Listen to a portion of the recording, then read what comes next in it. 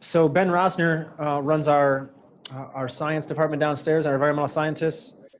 He's been here uh, almost as long as I have. Uh, how many years? 17 years. So he's going to talk about the ever-changing WOTUS rules and where they stand at the moment. And when I first asked him to to fill in and, and have this chat today, um, I think we both knew that uh, I'm sure it was going to be different than the, a different presentation three weeks ago than it is now, or four weeks ago, or two months ago. So anyway, uh, without further ado, uh, please welcome Ben Rosner. Thank you, Dan. Um, I'm not sure why this plate of cookies was placed right here, but if at any point somebody needs cookies during my talk, feel free just to come right up. Uh, you may have to share a slide or two, but um, all right. So we'll we'll dive in here. We're going to talk today about what are waters of the United States and what does that really mean on the ground. Um, we've been dealing with a lot of legal issues in the past few years uh, regarding waters of the United States. Um, primarily, we we were living under under uh, the 1986 rule since well 1986, and um, a lot of the agencies decided that things were too complex, uh, wasn't easy to understand, too many things were being regulated, or not enough things were being regulated. And uh, under the Obama administration, they came up with uh, a new rule um, we're calling that the, the 2015 rule because that one that is when it was released. Um, and so that's kind of where we're gonna dive in because that's the, the world we are currently living in. So real briefly, what are waters, what are WOTUS or waters of the United States? Um, it's things like the Chesapeake Bay, its tributaries, uh, the, those tidal wetlands uh, that you see, uh, surrounding the bay, and some of your more traditional wetlands you might think of, you know, these bald cypress swamps, things like that.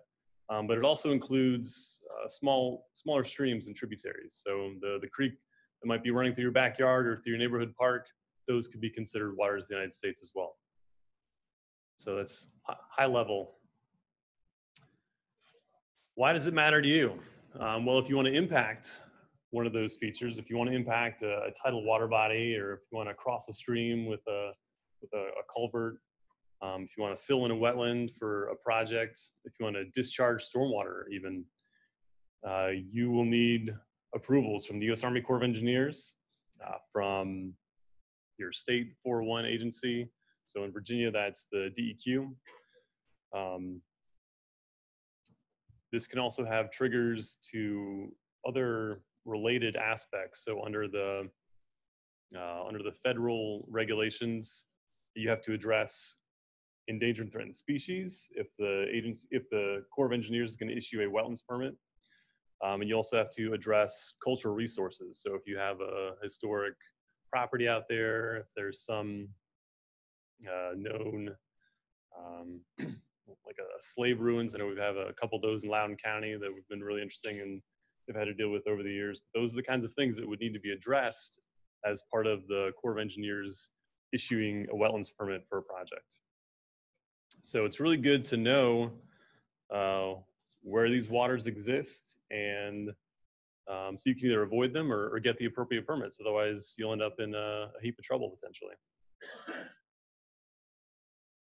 All right, so we got the, this current 2015 rule. This was this was born out of uh, decades and decades of um, legal cases going back and forth. You know, what, where does the United States federal jurisdiction start and stop? Uh, most recently, in 2006, there was this case called uh, Rapanos versus the United States, um, where the Supreme Court took that case up and basically ended up with three different decisions. Um, four of the justices finding uh, for uh, against, four finding for, and one in the middle saying, well, I agree with this side, but for extremely different reasons. Um, so the, the 2015 rule was supposed to kind of get us some clarity coming out of, of those cases. Um, clarity in jurisdiction, uh, better bright lines, they call them, of jurisdiction, um, and ideally less costly and less complex permits.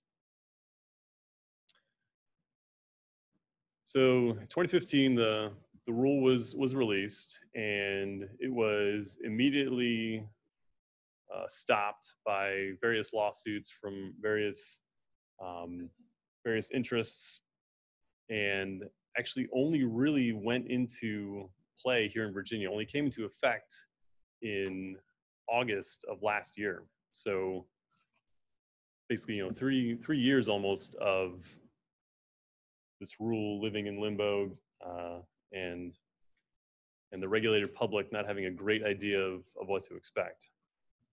Um, but the rule basically breaks out WOTUS into four different categories. Things that are jurisdictional by rule, things that are similarly situated isolated wetlands, and waters that need individual case specific significant nexus decisions. And that term significant nexus was born out of one of those court cases.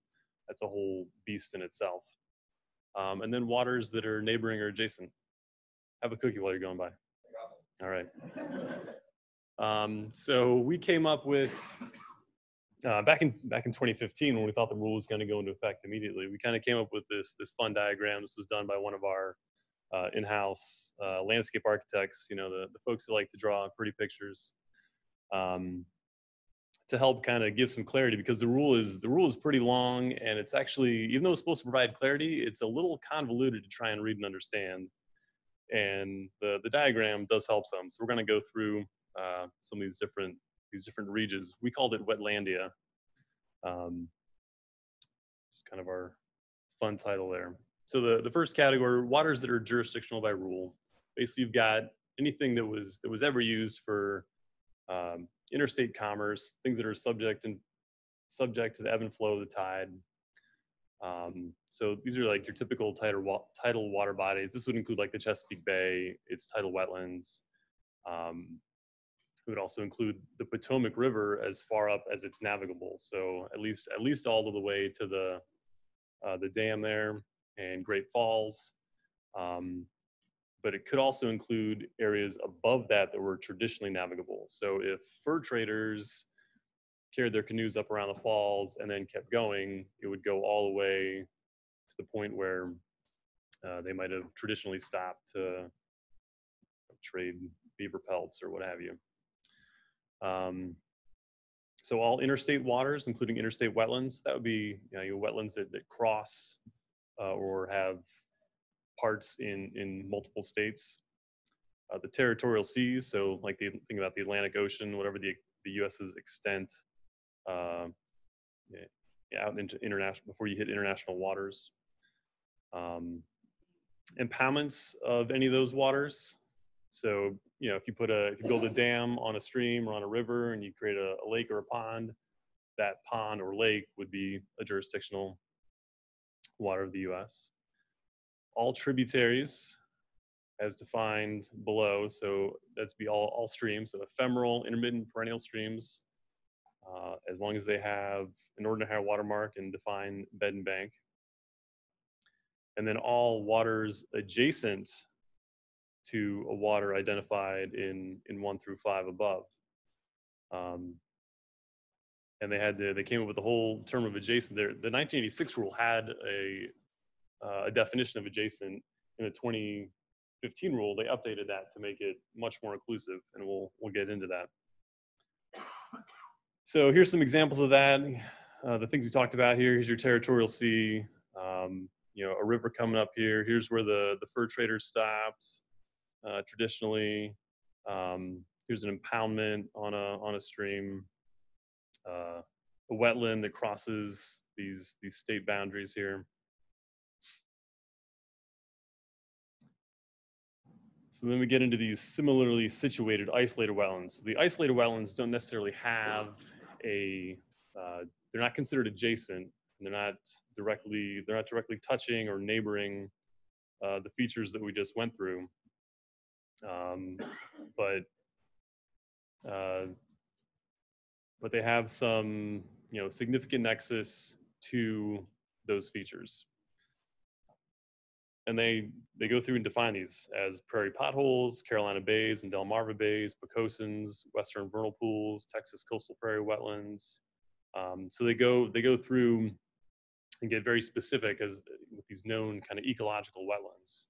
Um, you know, certainly in here, uh, in um, sorry, in the Mid-Atlantic region, uh, probably the closest thing we might come across these Carolina Bays and Delmarva Bays. Western vernal pools are very specific to, to California and certainly the Texas coastal prairie wetlands. You would not expect to find those here. Um, so example of that, you know, you have these like these prairie potholes you would find out in the Midwest. Um, you know, no no direct connection, but uh, they're considered similarly situated um, and therefore having this significant nexus. Then you have other waters that need an individual case by case specific significant nexus determination. So if you have uh, a wetland doesn't meet any of the previous criteria, um, the Corps basically goes out and says, yeah, we're going to make this significant nexus determination. So uh, they're looking at uh, a number of factors, and we'll get into those, I think, here in a, in a minute as to what they mean by that significant nexus. Um, but these are things that traditionally would have been, would have been considered isolated. Uh, the Corps of Engineers would not take federal jurisdiction over these, but the state DEQ here in Virginia would have. So here's our significant nexus. Um,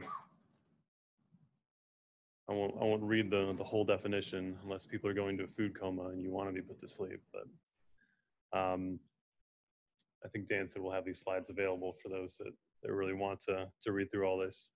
Um, but you're, you're looking at a number of, of, of functions to determine if it has a, a significant nexus or not. So sediment trapping, nutrient recycling, pollutant trapping, retention and attenuation of floodwaters, runoff storage, contribution of flow, export of organic matter, food resources, we're providing uh, life cycle dependent aquatic habitat. So think about um, you know uh, tadpoles in a in a seasonal pool uh, that could be that could potentially provide that um, that function and therefore have a significant nexus. Um, ultimately, this is up to the regulators and if they feel that it that it meets the requirements or not. So you know, with all the things I talked about, you know, hey, let's try and get clarity with this rule. I feel like there were still a lot of areas where it was left um, quite gray. So we've got some examples of that. Um, these areas that might not be a because they're um, uh, well outside and wouldn't have that significant nexus uh, one of the key things that they talk about with significant nexus is um, things that are neighboring. And to be neighboring uh, you're essentially within within 4000 feet of one of those uh, features that are jurisdictional by rule. So if you're within, within 4000 feet of a tributary stream or if you're within 4000 feet of a tidal water body then it would be considered neighboring and that helps push it into this significant nexus category.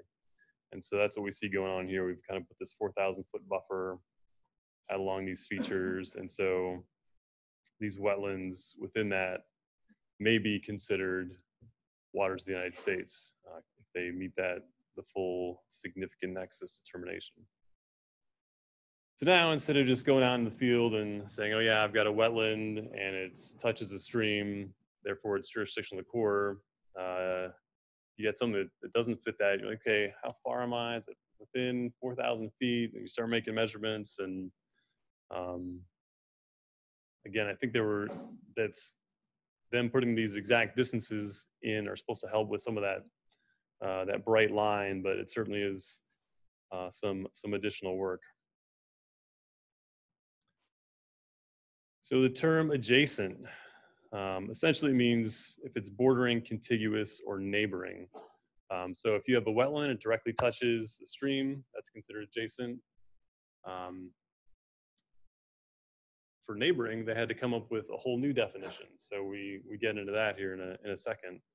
Um, but anything that is um, separated by, by a natural barrier, like a natural river berm, a dune, like a sand dune or a dike, those are still considered to be um, bordering or contiguous or neighboring. So under the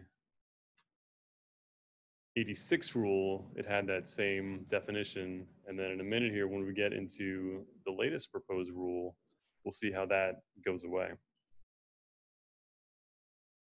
So neighboring, all water is located within 100 feet of the ordinary high water mark. So if it's not directly touching, if you're within 100 feet, that's still considered neighboring. Anything that's within the 100-year floodplain, although they never actually defined how they're considering floodplain, whether that's a FEMA floodplain or some other locally determined floodplain. Because FEMA doesn't map all 100-year floodplains. Uh, so there's some more uh, gray area that was introduced there. Um, anything within 1,500 feet of high tide line uh, or the ordinary high water mark of the Great Lakes. So we've got some, some more examples here. So here's that, the yellow is the kind of that 100 foot buffer looking through. So this, this wetland here is adjacent, it's got a natural levee, but it's also still within 100 feet.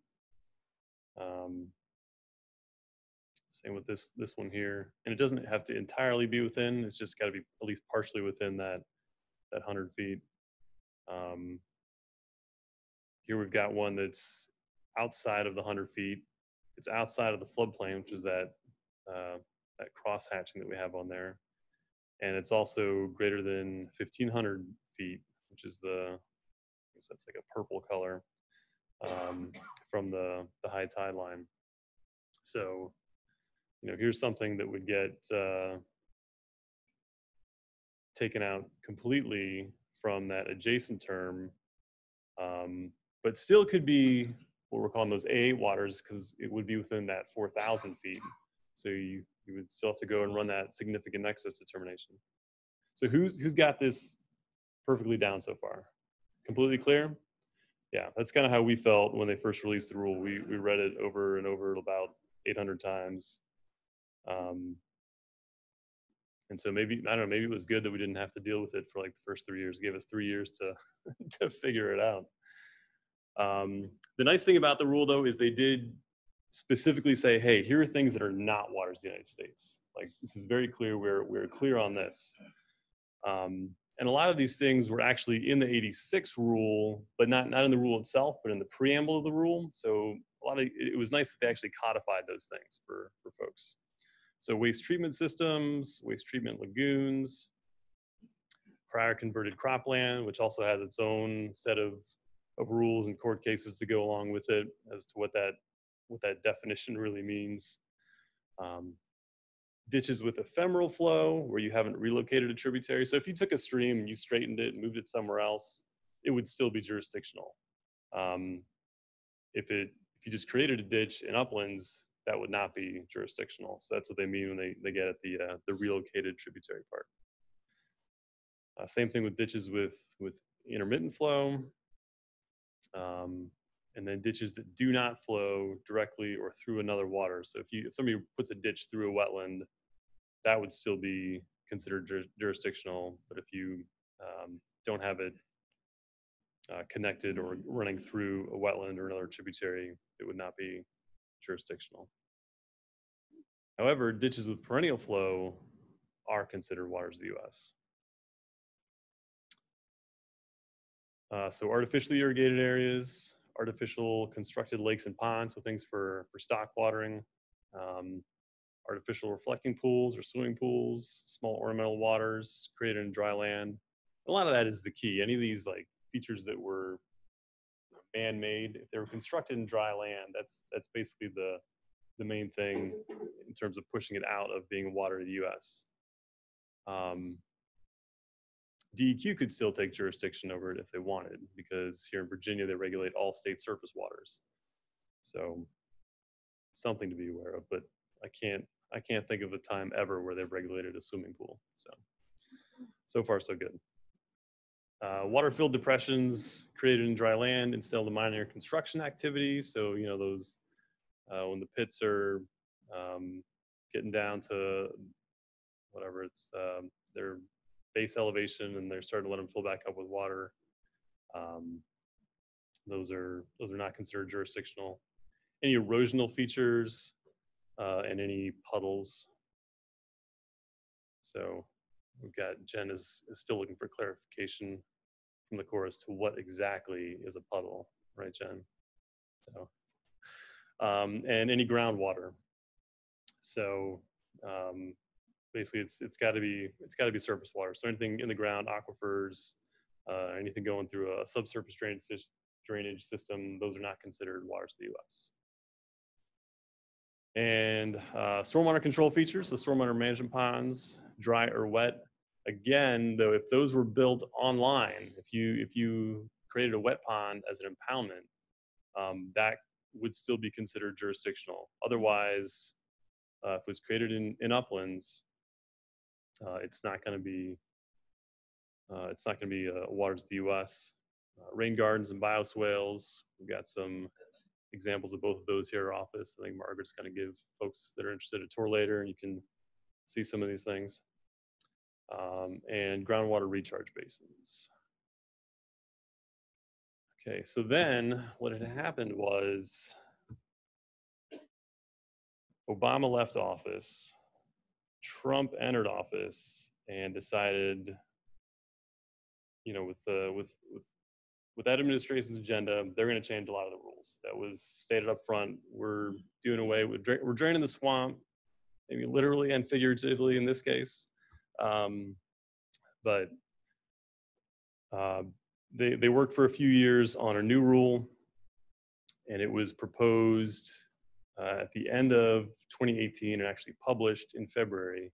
And this rule really swings the pendulum back the other way. So when we're looking at the, the 2015 rule, you know, with these 4,000 foot rules and the, the floodplain stuff, a lot of that uh, and the similar, similarly situated wetlands, especially, kind of expanded the Corps' ability uh, to regulate uh, more wetlands and more land than previously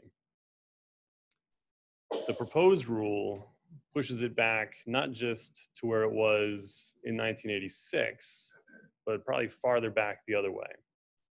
Um, so not only would you drop out a lot of features now regulated under the 2015 rule, but you would also drop out features that had been regulated for decades prior.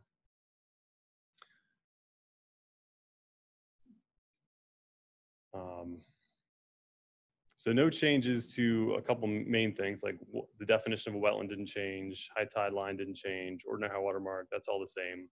Ephemeral streams, which were considered tributaries under both um, both prior rules, are now out altogether. Um, and that's a really big thing um, in states like Maryland, where the state, um, the MDE, uh, they do not regulate ephemeral streams already. So in Maryland, if the Corps is no longer regulating ephemeral streams, nobody is. Um, in Virginia, the DEQ is still going to regulate ephemeral streams, so we're not going to see any changes there. Um, but that's that's a big thing. When they publish this rule, they are also asking for comment as to whether they should also drop out intermittent streams. So that would really uh, push things back, um, you know, push push jurisdiction back a lot farther than than ever before. Uh, and then you start thinking about okay, wetlands that are uh, adjacent to those ephemeral and intermittent streams, they would lose their jurisdictional connection that they currently have, and those would also get thrown out the window. Um, again, so in Virginia, not a whole lot would change because we still have the state DEQ that uh, would regulate those features. But there's a number of states out there uh, that don't have state wetland programs. Um, so it's really gonna it's really gonna change the landscape in a, in a lot of ways. Um, so again, all those all those things that were considered isolated, those are definitely out now.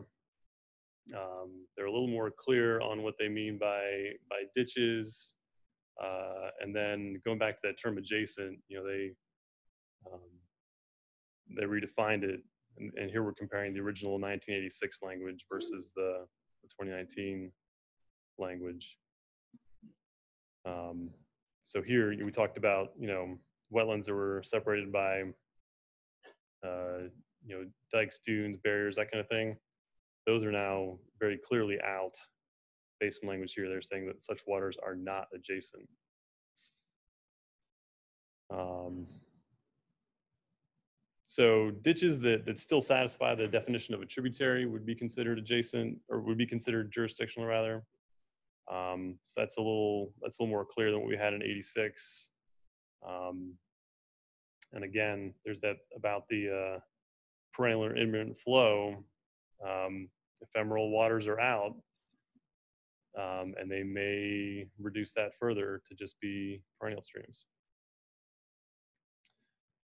Uh, definition of a wetland stayed the same. Adjacent wetlands, um, they changed their definition of adjacent slightly, um, and that was on this this last slide here.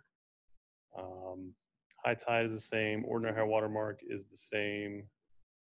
Um, so there's been some studies done since the rule was released to figure out is there really going to be an effect. Um, St. Mary's University of Minnesota did a study uh, where they looked at um, three different scenarios. Kind of the, the, most restrictive scenario being, you know, if they went the route where only perennial streams um, were, were, regulated tributaries, and then the, the waters below them.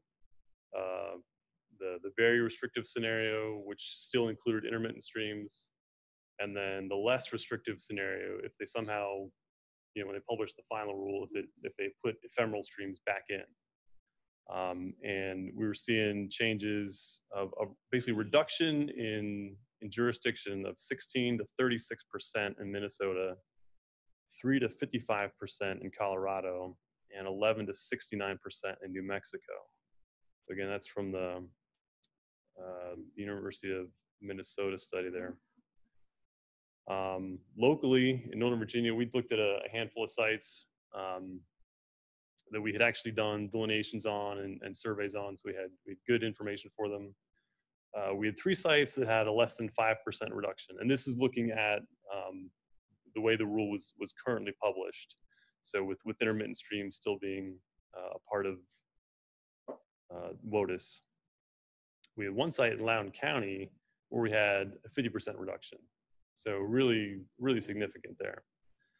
Um, a lot of it just kind of varied depending on where you were, which physiographic province you were in.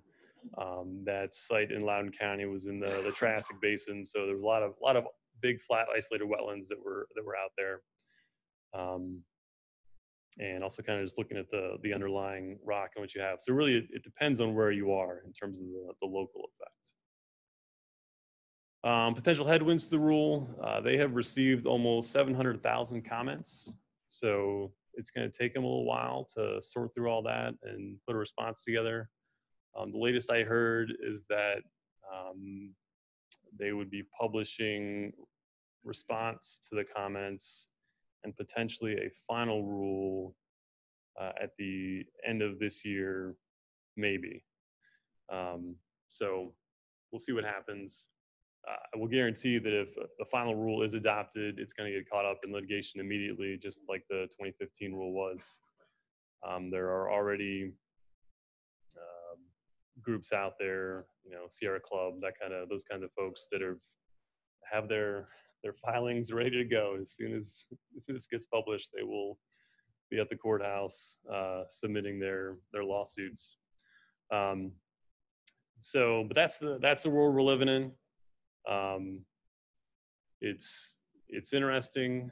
Uh, it's it's ever changing, uh, and, and I think hopefully what I've done here is really just highlight the need for for y'all. If if you don't, if wetlands aren't your thing, is bringing in the right folks that, that have the the knowledge to to help you through the the situations and understanding uh, what's regulated, what's not, what are the next steps, what do I need to do in terms of a, a permit, and that sort of thing. Because this is a um, it's a big issue and it's not simple. So, any questions? Yes, sir.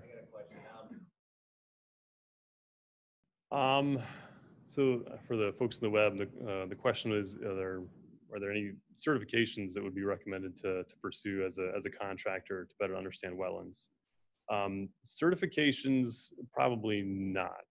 Um, we've got folks that are uh, professional wetland delineators certified by the state and also professional wetland scientists. And that's um, you know a larger national body that does that certification.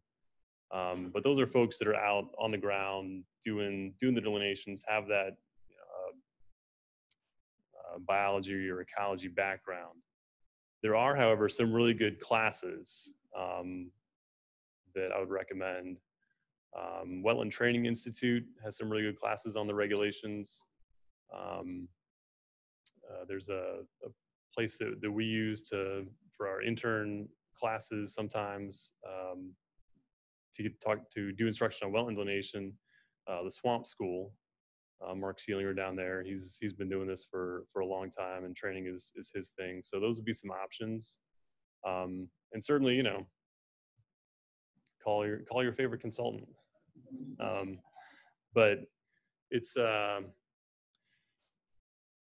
it's it's definitely not a simple thing. So there, there's no like direct certification for you know the, the wetland regulations and that and that sort of thing. But certainly having having folks that are in the know, having folks that that have some of those those national or, or state certifications will will help. Um, and then uh, on top of that, some of those classes and things like that. So absolutely. Anything else? All righty. Well, thank you very much. Appreciate your time.